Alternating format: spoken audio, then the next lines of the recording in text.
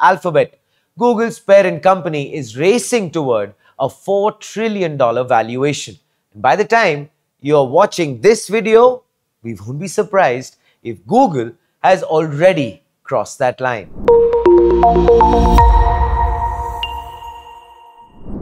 Good evening and welcome to Front Page on AIM Network, India's video first AI and tech newsroom. Tonight, we are watching something historic in real time. Alphabet, Google's parent company, is racing toward a $4 trillion valuation. And by the time you're watching this video, we won't be surprised if Google has already crossed that line. Please make sure to like, share, and subscribe before we dive into this very interesting story that is unfolding as we speak. So, the question is what just happened? On Monday, Alphabet stock jumped over 5% to hit a record high around 315 to $330 a share, pushing its market cap to roughly $3.8 trillion and putting it within striking distance of the $4 trillion club. Only three companies have ever touched that number Apple, Microsoft, Nvidia. And if Alphabet joins them, it will be the fourth member of the most exclusive club in markets today. Alphabet's stock is up 70% this year, outpacing even other AI darlings like Microsoft, Amazon, and on some days, Nvidia itself. What makes this move remarkable is how quickly sentiment flipped. After the launch of ChatGPT in 2022, many investors genuinely believed Google had lost its AI edge, despite inventing much of the core transformer technology.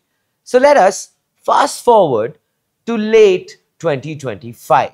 Gemini 3 is getting strong early reviews. Google Cloud has turned from an also ran into a very serious growth engine. Berkshire Hathaway quietly took a stake, and like it or not, Wall Street still treats Berkshire buys as a huge confidence signal. And on top of all of that, Google navigated the big United States antitrust cases without being broken up.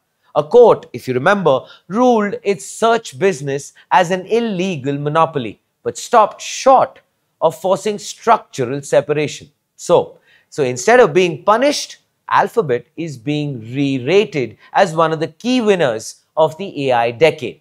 Now, layer on the real catalyst behind today's move. Reports that Meta is in talks to spend billions of dollars on Google's TPUs, tensor processing units, starting as early as next year. So if that deal lands, it changes three things at once. Meta diversifies away from NVIDIA, its biggest current supplier. Google's TPU business goes from internal tool to, well, external product line. And for the first time, we see a credible path for NVIDIA's data center dominance to face real pricing pressure. NVIDIA's response to this was, well, unusually public. The company put out a tweet saying, We are delighted by Google's success, end quote, and reminding everyone that NVIDIA is a generation ahead of the industry and the only platform that actually runs every AI model everywhere. But if you read between the lines and if you actually watched NVIDIA's stock price dip while Alphabet climbed, you can clearly tell. The market finally believes Google's TPUs are a very serious competitive threat. And before we jump into the conclusion of, oh, this is the start of the AI bubble bursting, which many actually mainstream media would obviously dive in at first sight, let's talk about the chart on your screen. Yes, which by the way has been trending on social media. So on the left, you see NVIDIA's merchant model. On the right, Google's vertically integrated TPU model. And here's the core difference in simple terms. The NVIDIA tax. Yes, NVIDIA sells GPUs like H100 Blackwell to cloud providers. On top of manufacturing and research and development costs, it adds a huge margin, often 70% or more. AWS, Azure, Google Cloud then pass that cost on to customers through high GPU instant prices. Every AI startup, every enterprise lab, every research team is effectively paying this NVIDIA tax on every training and every inference token. Now, for Google's vertical integration, Google plays a different game. It designs TPUs in-house. Broadcom helps turn those designs into physical chips and packages them. TSMC fabricates them.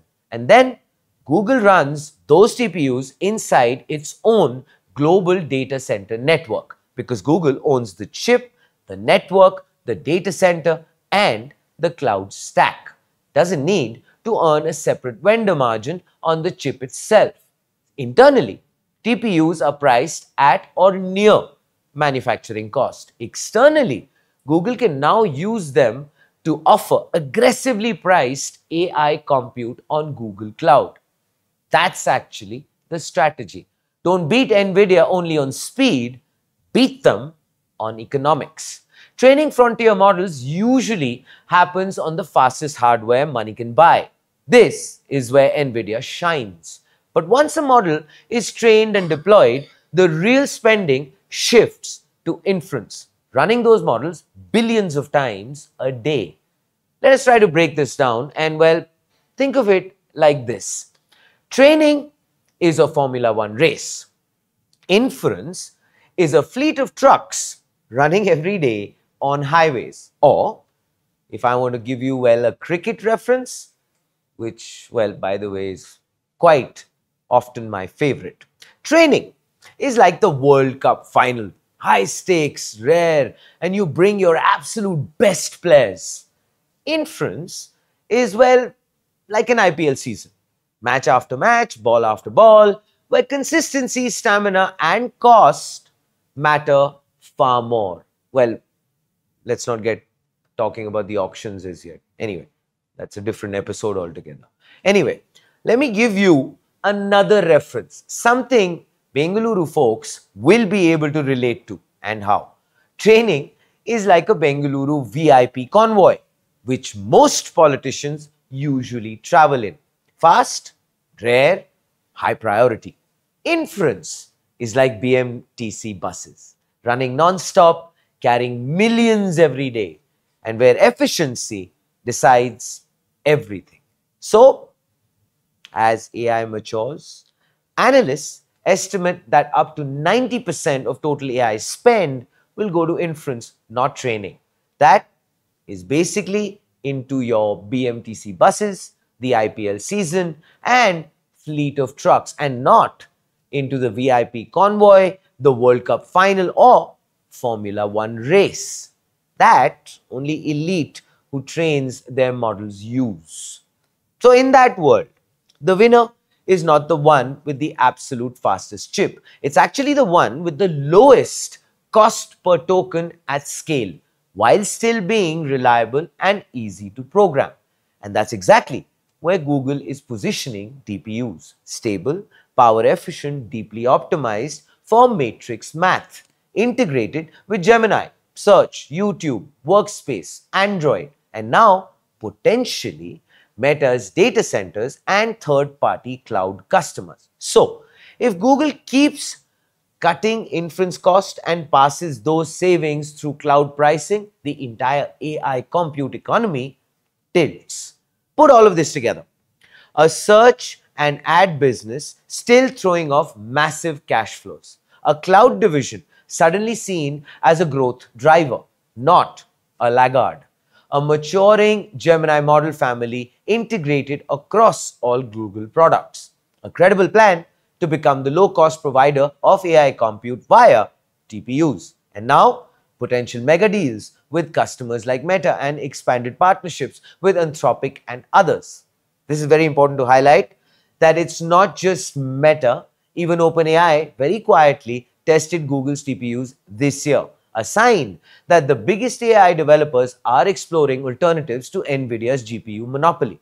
So you don't just get a story about, well, Google's catching up in AI. You get a story about Alphabet owning both sides of the AI stack. The application layer, which is search, ads, YouTube, Android productivity. The infrastructure layer, chips, networks, and cloud capacity, which we have, of course, exclusively covered here on front page. Please make sure to check it out if you haven't already. And that's why the market is willing to take Alphabet close to $4 trillion and maybe beyond, even as some investors warn about an AI bubble. Doesn't matter. For Indian startups, GCCs, and enterprises, this AI compute war is not abstract. If Google really leans into cheap TPU backed inference, we could see lower prices for running large models in Google, cloud regions close to India. More AI native services built directly into Workspace, Android, and YouTube that are cheaper to operate. And over time, less dependence on scarce NVIDIA GPUs, which today are both expensive and very hard to secure at scale. For NVIDIA, this doesn't mean collapse.